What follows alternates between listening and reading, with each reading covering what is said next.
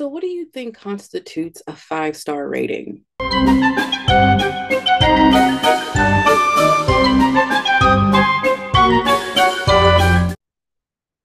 I find myself contemplating that a lot. I I don't, I'm not the kind of reader who looks for perfection. I'm just going to go ahead and just be honest about that. I see people writing reviews sometimes. And again, every person is different. So I get it. If that's you, you do you. But sometimes I wonder why people even like consume fiction or even nonfiction literature, books, movies, music, whatever, because they're just so critical. It's like, do you even enjoy what you're doing? But that's just how I perceive it. It might be different for that person.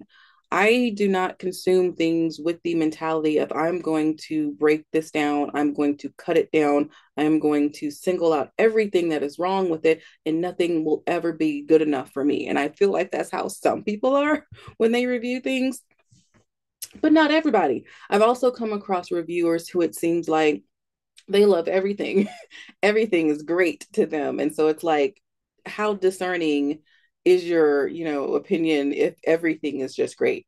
I try to be somewhere in the middle of that. I like to recognize the fact that people are human. We are not perfect um, and so i also as a writer myself knows that there's a lot of work that goes into it.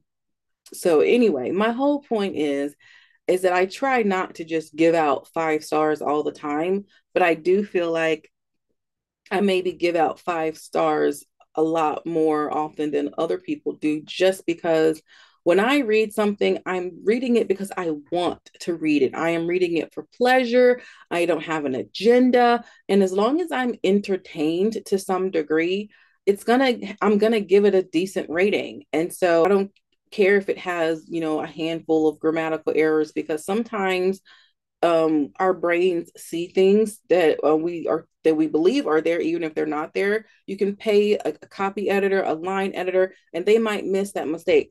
If you've written a novel and it's 400 pages and you have five grammatical errors in it, I'm not going to give you a three star rating. And I see people do that and it drives me crazy. So, the whole point of me going through this whole spiel is to say that the ratings that I, I think I'm giving this month are a little bit more varied than what I usually give just because I'm being honest. And I do believe there is a way to be honest without overly hyping something, but also not completely tearing something down. And I feel like when I read other people's reviews, that's not what I'm seeing at all. I either see people who love everything or people who hate everything. And I want to be somewhere in the middle. So let's start with what I read in the month of March. I completed three titles. And so I'm doing really good on my Goodreads challenge. So let's start with the first thing I finished. In Darkness, the Vampire. This was an overall Goodreads rating as of a five star. But as I get into the review, you'll see um, my actual rating is a little bit different from that. Um, this is a short review just because I didn't have a whole lot to say about this, but it will explain it. So here we go. Actual rating 4.75. This was a nice take on the classic vampire trope. It told a compelling story of a sort of treasure hunt. There is an element of romance in the love story slowly developing between two characters, but it's not the central focus of the narrative. Uh, like the way this author depicts the vampire culture and that of the human they share this world with. I do feel that the story, I do feel that the story of the dead brother could have been touched on more, but maybe there's supposed to be more to the story. A sequel, a prequel, I don't know. This was a short and easy read, not overly complicated, but not too basic either. Kudos to the author. Recommended to fans of paranormal, dark fantasy, and subtle romantic subplots. So there you have it. Kind of cut and dry, very sweet. If you like vampire stories, I think you'll like this. If you don't like vampire stories, please don't pick this up and be like, ugh, it's a vampire story. Yeah, it's a vampire story.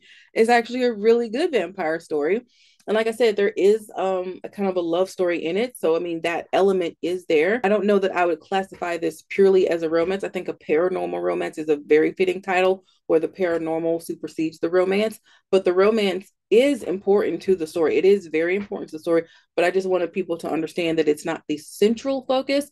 The kind of treasure hunt that they're going on is the central focus, and the love story is kind of part of that. I thought this was a really good, well balanced story um, for anyone who likes paranormal or dark fantasy. So there you go. In Darkness, the Vampire. All right, let's see what's next. Uh, let's see here. Okay, so the next thing I read was super short. So my review is super short. So my IWSG book club does this thing now where we do a monthly themed challenge because our spotlight books are now quarterly. And so for our themed challenge in the month of March, we chose horses. I'm not sure how he does that. I think my co-mod, she's amazing. She does a lot of behind the scenes stuff for us that I just I'm so glad she does. And I think she came up with a lot of our challenges. And so anyway, the idea is that the members can pick anything that they want to read that fits within that challenge. It could be a novel, it could be nonfiction, it could be a comic book, it could be an audiobook, it could be whatever they want to read within that theme. So um, I chose to set my goal challenge for two books. One was a full length novel, and the other was this work of short fiction. So let's just get right into it. I read A Fae Horse, a fairy tale. My overall star rating for this is a five. And let's look at my review. Actual rating 4.5. Um, this is a super short, fun read loaded with magic, mystery, and suspense. I wish I knew why the Fae Horse originally appeared. I didn't quite get that. I did, however, get the ending and thought it was perfect for all that happened. Recommended to fans of short fiction and fantasy. So, again, super cut and dry. This was a wonderfully fun story. Um, very short. um i yeah i do think that it could have been expounded on just a little bit by explaining where the horse came from but it was such an action packed read and such a you know short um thing that overall i was entertained by and so that's why i gave it a high rating all right let's see here and then the last thing that I read, so I mentioned obviously the IWSG monthly theme of horses. And then we also have our quarterly reads. So I went ahead and read one of those, which was A Spiral of Hooves, which actually served both purposes. So I got myself a two for one. So I am going to go ahead and get into the review for this. This one is a little bit more lengthy than the other ones, just because I wanted to explain the rating that I gave it um, for anyone who might be interested in, you know, picking this up. So, Spiral of Hooves, the overall Goodreads rating is a four star. And let's get into my review. Actual rating 3.75. This was a new reading experience for me, reading a genre I don't read a lot and reading about a subject I know very little. I would consider this a contemporary suspense mystery. It just didn't feel dark enough until the end to be a thriller, although it starts with the death and others die along the way. The horse racing world is, is the setting of the story, and beyond watching the Kentucky Derby each year, I knew absolutely nothing about this culture. Why I didn't give this a higher rating has a lot to do with the genre and the subject. For anyone who reads a lot of contemporary mysteries that aren't cozy, this is probably right up their alley. I have been reading some cozy mysteries, so I am getting more familiar with the mystery genre, but this was more of like a suspense thriller type mystery. So that's something that I'm still kind of getting used to. Uh, let's see, where did I leave off? For anyone who isn't trying to understand the terminology and culture of the horse racing world while also following the characters' arcs and mystery, this should be a much smoother read. So basically, I'm just explaining that this was a kind of a tough read for me because I was trying to understand the terminology and the culture, plus understand the mystery that was happening, plus figure out who all the different characters were. So I just had like a lot of processing going on that didn't make me not enjoy the story, but I think it was just wasn't as smooth of a read as it could have been had I already had some background knowledge back to the review. Overall, though, this is a good story, a solid suspense mystery. While I like the character of Armand, one of the main male characters, I was never too fond of the main female character. There wasn't anything particular that I didn't like about her, I just never felt drawn to her. I like that she represented what many would consider a person with a disability. She has diabetes, and I love the way the author used her to explain what managing that condition is like for someone who can't relate to it. So yeah, I I really loved the fact that this main female character um, has diabetes and you get to see her kind of managing it throughout the story and that's not something i think that i've really read before i mean i've seen you know characters with different like health issues and stuff like that but um the way this author just kind of explained how like from day to day how she has to like check her glucose and do the you know do these different things i really liked that aspect. So if from that point of view i i really liked her character and what she represented but the actual character itself i don't know something about her i just never really connected to but that's just me personally I also never understood the appeal of the other main male characters. No spoilers here. So there's two main male characters, one I liked, one I didn't like. I didn't understand what the appeal was to his character like at all like the main female character again i didn't dislike her but i also didn't love her she was just kind of this neutral entity i love what she represented as far as